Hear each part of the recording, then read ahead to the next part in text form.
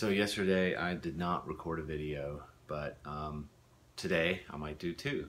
So I, what I want, what I've been doing, because it's the end of the year, I've been doing some end of year planning, I guess, which is basically like more financial planning than anything else. I've been looking back through all my expenses for the year, kind of trying to plan where I want to go financially with savings and investments and things for the future. So I've just been kind of um, in, in the numbers a little bit, I guess just looking at some of my spreadsheets and things like that and trying to figure out how to manage expenses with income and balance everything out.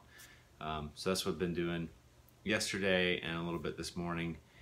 And um, which that whiteboard I got's been useful for kind of mapping out some of that stuff and and where I want to go with things.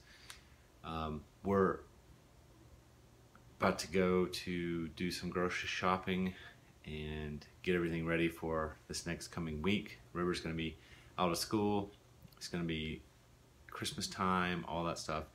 Um, I've got some big deadlines coming up at work, which are going to end at the end of um, end of December, pretty much January 2nd, 3rd. So looks like I'm going to be working a lot during the holidays to advance some projects forward, um, which is a little bit of a bummer because I feel like I need a break.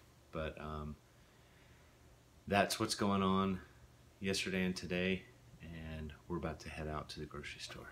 So I will talk to y'all later.